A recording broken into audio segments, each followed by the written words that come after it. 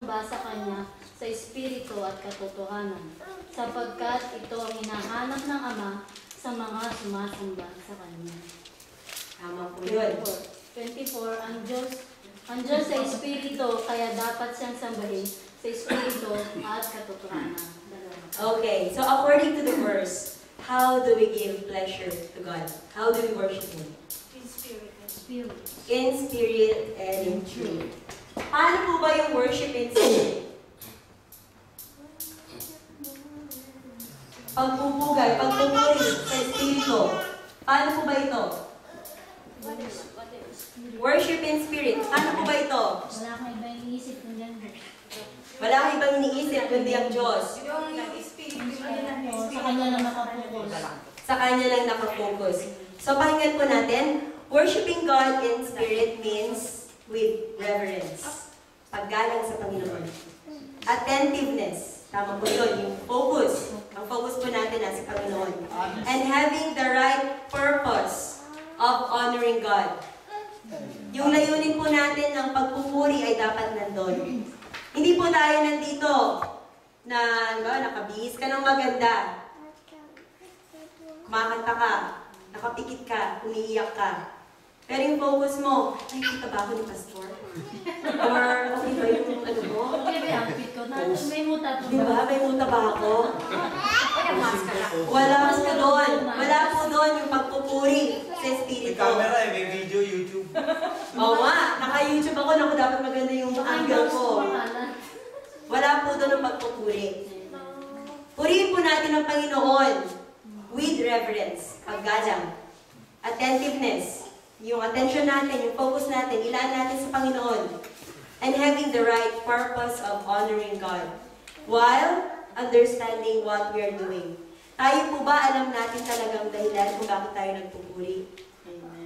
Naiintindihan po ba natin? Nauunawaan po ba natin kung bakit tayo nagpupuri? Amen. Bakit po ba tayo nagpupuri?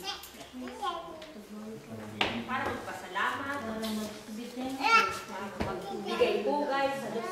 Isa yun sa dahilan kung bakit nilikha nga tayo ang Panginoon. Para purihin siya.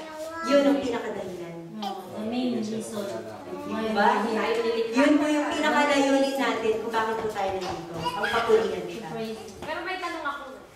Ano? Halimbawa ba, hindi ka marunong mag-keep ng pangako mo. Nagkakasala ka ba? Personal naman yan.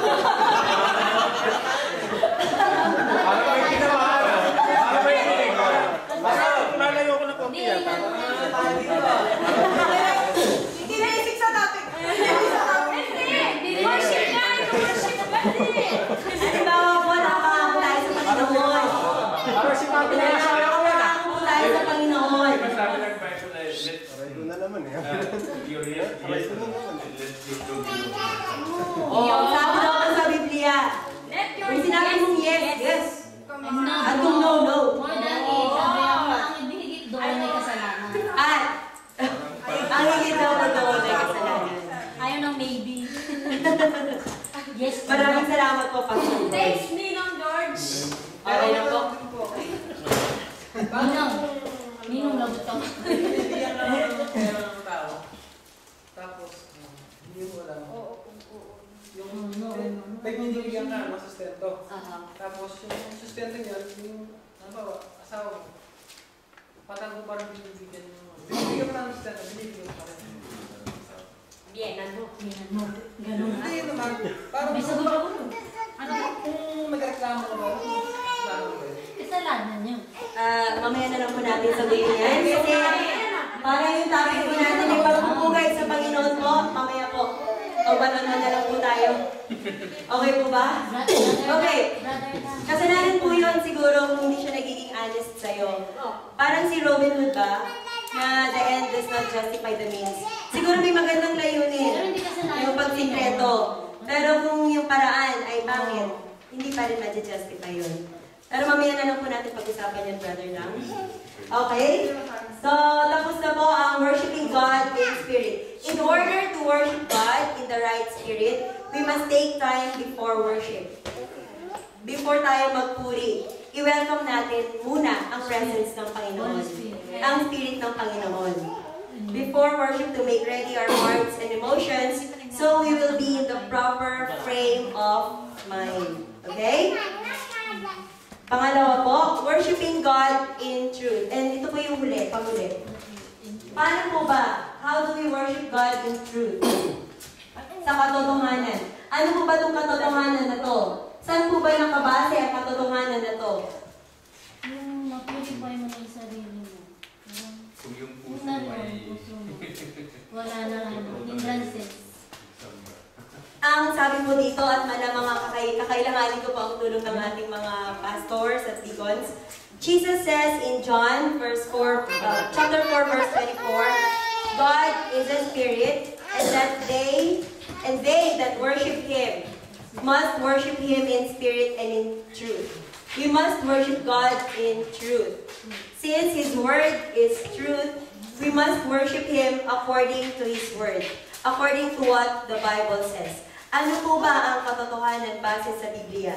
Paano po ba tayo dapat mag-worship base sa Biblia? Paano po ba? Is the way, truth, and the life. Paano po ba? Brilliant, yes. Gawin ang nakasulat. Ano po ang nakasulat? I'm not a biblical scholar. At hindi po familiar sa akin lahat ng mga verses sa Bible. Kaya ako din, sabi ko, ano nga ba yung nakasulat sa Bible? Parang bigla akong napaano eh. Hindi ko alam. Pati ako hindi ko alam kung ano nakasulat. Dapat ba ako mag-pray? Sinabi ba sa Bible na sa tamang sambahan? With proper outfit? Yun ba yung sinasabi na in truth? Ano po ba yun? Sa akin, yung ano pa sa akin, yung katotohanan na sinasabi, yung, yung, yung buhay mo na, na, ano, na diretso, diretso para sa Panginoon. Kumbaga, yung buhay mo na halimbawa is, ano, alam mo ng mali, alam mo yung, pa- alam mo yung mali na hindi ka dapat doon pumasok sa mali. Yun yung. Mm, yung katotohanan. Yung katotohanan na ma- ma- mabuhay ka, sumamba ka ayon sa katotohanan na hindi ka, na hindi nga sa mali. According to what is morally Mm. and spiritually right. Dahil yun ang, yun ang ano niya eh. Yun ang, biblical. oo, biblical yun eh. Maraming salamat Ate Rui. Sino po ang yun. Kasi tanong din po sa akin talaga yun. Wala po kasagutan Kasi, yun. yun o, tanong din yun, pero ako talaga din ah, lumaki ako nga sa konservatibang pamilya. Ang natandaan ko, ang auntie ko noon, talagang bawal magpatugtog sa kaset ng ano eh. Ng, yung tinatawag na secular music. Bawal talaga. Pang worldly. Pag oo, eh, si- ang mga kapatid ko is lumalaki, yung nag-aaral na ng college. Pagpasok sa kwarto nila, mahinang mahina. Siyempre, may mga tinsong na sila ng mga girlfriend nila. Bawal marinig sa labas. So parang ano talaga, yung parang bang question din sa'yo, bawal ba yun? Mga nothing's gonna change my love for you, bawal ba kong pakinggan? As in, ganun siya ka-conservative. Pero nung tumatanda na, okay na, medyo okay na sa mother ko, okay na sa father ko, nakisakay na sila sa amin. Kasi hindi, na rin, hindi, hindi nila kami kayang ano. Na, nakikinig din kami ng mga kanta ni Carpenters. Hindi naman siya Christian rock. Oh, so yun na po. Yun po yung katanungan. Hindi, parang In truth po ba yun? yun, yung ganun, in truth ba yun? Bawal ba yun? Na ma- makarinig na marinig, ma- hindi ka makinig sa secular music? Siguro hindi dahil naman kung ang mga na lang, kung ang Depende meaning ng sa kanta, ang meaning ng kanta ay hindi naman bastos, hindi naman, may kanta kasi na maganda ang meaning pero kanta pala siya sa demonyo. Over pala siya sa demonyo. Maganda yung tono, ganyan-ganyan. Ano ko rin yung ano, minsan na pag-usapan namin ni Toto na kwento. Yung, to ano, no ribang tayo. Masama bang mag no ribang? Gusto mo lang naman kumanta lang. Di sabi na ni Toto, yung masamang kumanta, yung masamang umano.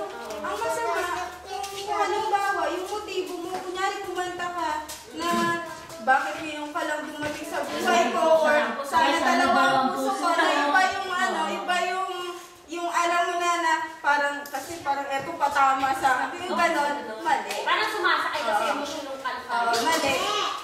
Yun. Pero hindi masamang kumanta ng ano. Yun nga din, So yun po. Ate Weng, bago po tayo mapunta kay Pastor Ernie. Depende pa rin sa kanta. Depende. Depende din. Pero para sa akin, depende hindi ko dyan sa Worshiping in truth. Since nung maging Christian